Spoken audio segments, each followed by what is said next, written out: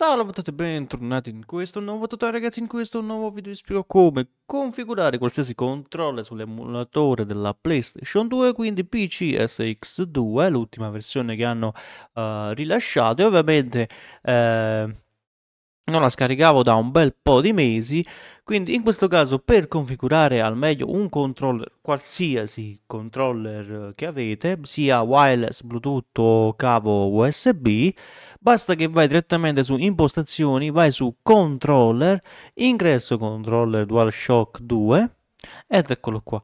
Prima di configurarlo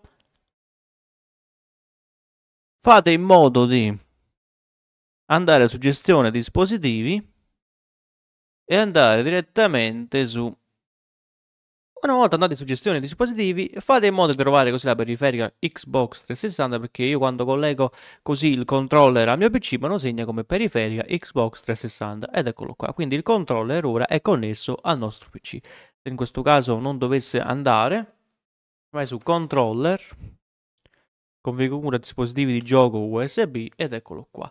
Connetti lo stesso il tuo controller, quindi uh, attraverso il cavo Bluetooth o wireless ed eccolo qua, controller USB, controller. Vai su avanzate, metti questo qua e fai ok. E fai ok. Una volta collegato così il controller al tuo PC puoi configurarlo. Quindi in questo caso questi sono i tasti del controller della PlayStation 2. Clicca su questo tasto qua e clicca sul controller il tasto che devi premere per giocare, quindi in questo caso tasti direzionali che sarebbero i tasti a sinistra del controller, quindi ci clicco sopra e faccio così. Ed eccolo qua, me l'ha selezionato come primo tasto.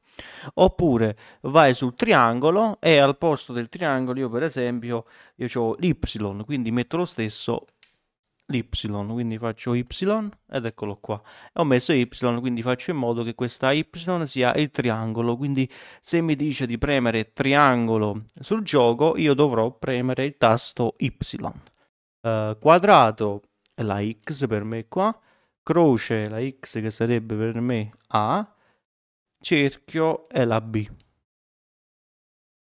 Poi su sinistra questo, destra quest'altro tasto, giù quest'altro, analogico sinistro, quindi la parte più importante sono eh, gli analogici, quindi se tu premi su keyboard W, questo qua è il tasto, sposti un po' l'analogico verso su e te lo segna come analogico verso su che hai premuto quello a sinistra. Quindi sinistra qua, analogico sinistro, sposti a sinistra, questo qua, ok? Lo sposti a sinistra. Fai così, a sinistra. E l'hai spostato.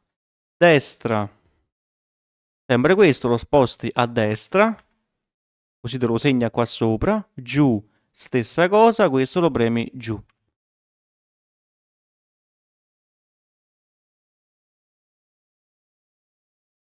Ok, deve uscire più. E qui è meno. Stessa cosa anche sull'analogico destro. Quindi questo. Su questo sinistra, questo destra e quest'altro giù. Una volta fatto, passiamo ai tasti L3, R3, R2, R1, L2, L1. Quindi L1, L2, R2,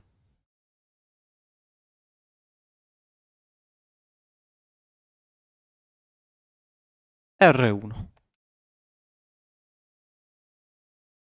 Ok.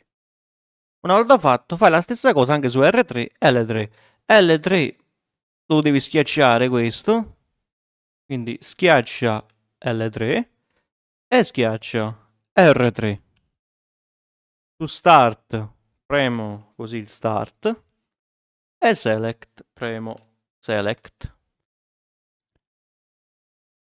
Ed eccolo qua.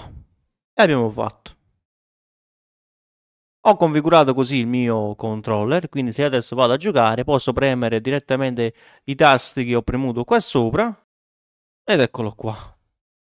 Porta USB non connesso, qui invece se hai un controller della PlayStation 2 puoi connetterlo al computer e te lo segna qua sopra.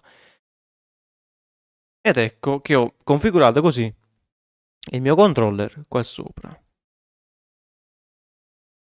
Una volta fatto, fai chiudi.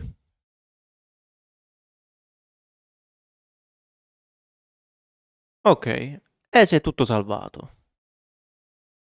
Scusate tanto se non posso farvi vedere così il test al gioco usando il mio controller, però in questo caso eh, il metodo è sempre questo e se hai bisogno c'è in alto a destra un altro video, quindi un'altra guida che ho fatto tanto tempo fa, dove io configuro un altro controller e che lo testo anche in un gioco. Quindi il metodo resta sempre questo quindi per altri problemi eh, commenta sotto al video. Se ti è stato utilissimo questo video iscriviti, lascia like e noi ragazzi ci vediamo ad un prossimo tutorial. Ciao!